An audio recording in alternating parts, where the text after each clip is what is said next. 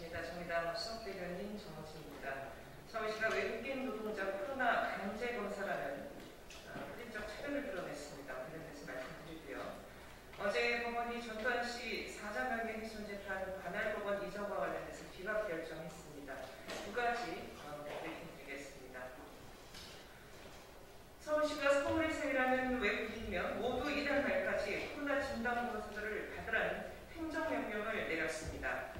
확진자와 접촉력 등 감염 유연성 등을 고려한 것도 아니고 그저 국내 외국인 노동자 전체를 검사 대상으로 관리하겠다는 것은 이들을 잠재적인 감염원 취급하는 것입니다. 명백한 차별행위입니다. 후진적 인권의식을 드러낸 행정명령을 당장 철회해야 합니다. 코로나 방역에 내외국인 구분 짓기가 효과가 있을 거라는 발상이 어떻게 나올 수 있는 것입니까? 필요하다면 발생한 단체나 지역에 전수조사를 하는 것이 상식입니다. 단지 외국인이라는 이유만으로 검사를 의무화하는 것은 방역 효과 면에서도 실효성이 떨어집니다. 개인에게 모멸감만 남길 과잉 행정입니다. 최근 일부 지역에서 외국인 노동자 집단 감염이 발생한 것은 이들이 코로나 검사를 받으러 가기조차 힘든 여건과 열악한 노동, 거주 조건 때문이지 인종이 달라서가 결코 아닙니다. 근본적인 방역 대책은 국내 외국인 노동자의 처참한 노동 환경에 대한 개선책을 마련하는 것으로 시작되어야 합니다. 행정 편적으로 외국인 차별이라는 방식을 택한 서울시에 다시 한번 유감을 표하며 행정명령을 처리할 것을 거듭 촉구합니다. 전두환 씨 어, 재판 관할법원 이전 기각 관련돼서 말씀드리겠습니다. 어제 법원이 고 조비오 신부의 명예를 훼손한 혐의로 재판 중인 전두환 씨가 신청한 항소심 관할법원 이전을 기각했습니다.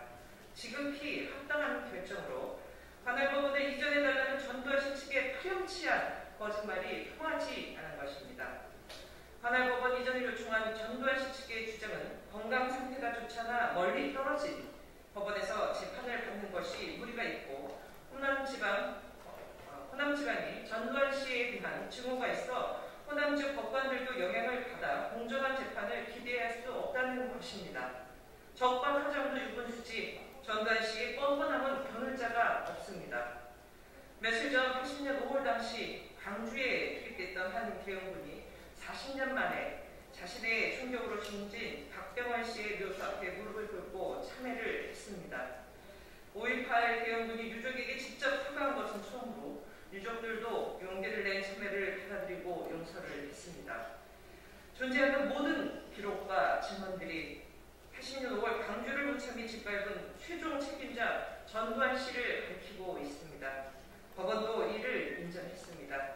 그러나 머리 숙여 깊은 참회와 반성을 구해야 할 전두환 씨는 여전히 광주 영령과 국민 그리고 대한민국 정의를 희망하고 우롱하는 것을 멈추지 않고 있습니다. 반성과 참여 없는 학살자에 대한 법의 심판을 소홀해야 하는 이유이기도 합니다.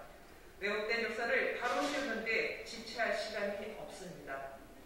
네, 브리핑 마치겠습니다.